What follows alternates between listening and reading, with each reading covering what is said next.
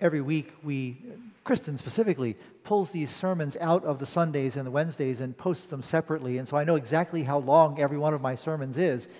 And I know about how long it usually is on Wednesday, and I try to keep it to about that length. But I am afraid that with Hildegard, I could go on and on and on just giving you her CV. It could be 20 minutes of me just telling you what it was she did. This remarkable woman that so many of us know very little about, I think. Uh, she was a noble woman living in what was called the High Middle Ages in Germany. And as a child, uh, when she was still quite young, she was sent to live with a somewhat older teenager, still really, who was at that time living as a hermit.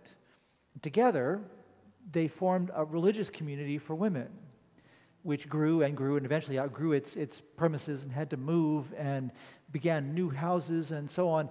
And all through that, there was an attempt on their part, and indeed they were successful, in gradually moving this, this uh, religious life run by women away from the interference of male leaders of the church. So, one, and perhaps the first thing to know, is that she had some role in women's spirituality and in, in, in sort of early Christian feminism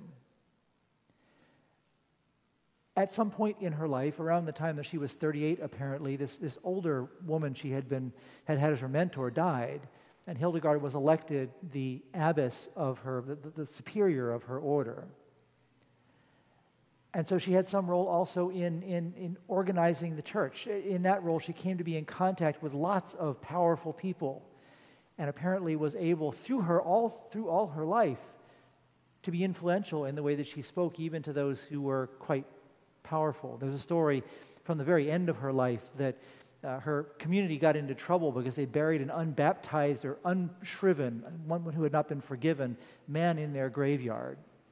And the local bishop uh, forbade them to receive the Eucharist. And so Hildegard went to the archbishop and argued the case and won.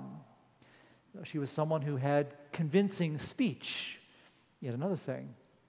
All through her life, it seems, she had visions which she kept to herself for much of her early life. But when she was 43, she had a vision that told her she should write them down and publish them. So she did. An unusual thing for a woman to do at the time, to write anything, let alone to write a book of the visions she had received from God. And you can imagine there would have been a certain amount of danger in that.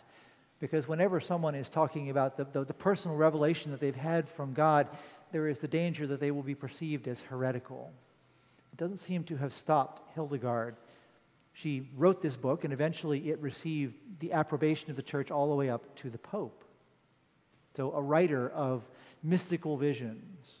She also supervised the illuminations that are in this book, which we still have right down to this day, along with the book. And they are considered classics of Christian mystical art. She has a role somehow in, in visual art and our understanding of what it might mean to imagine God through the eyes of someone who has had a very personal and intimate contact with God. Living in a religious community, obviously, she had a need to be in the daily office, to be reciting the prayers of the church, singing the psalms of the church that people who live in religious communities do, and some who don't live in religious communities live in the world do as well.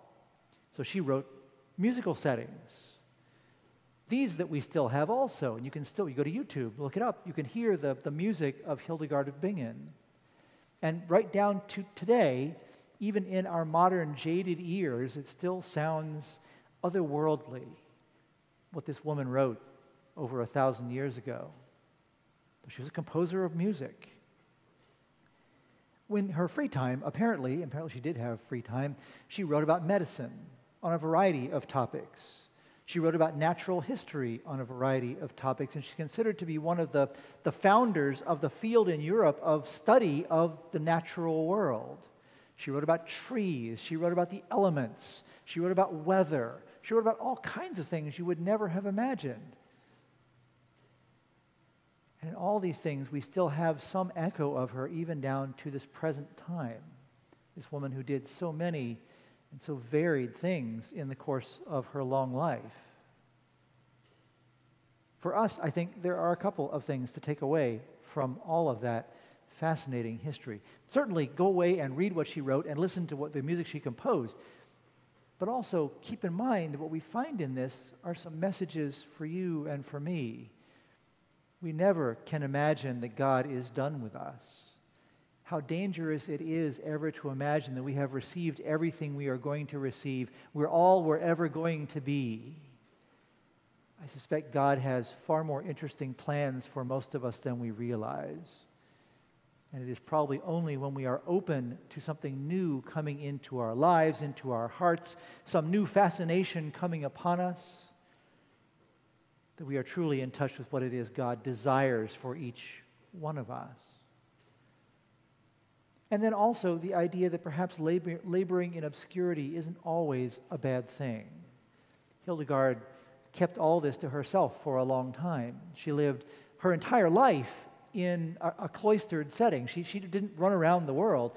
For most of the time, she lived in this community of, of religious women.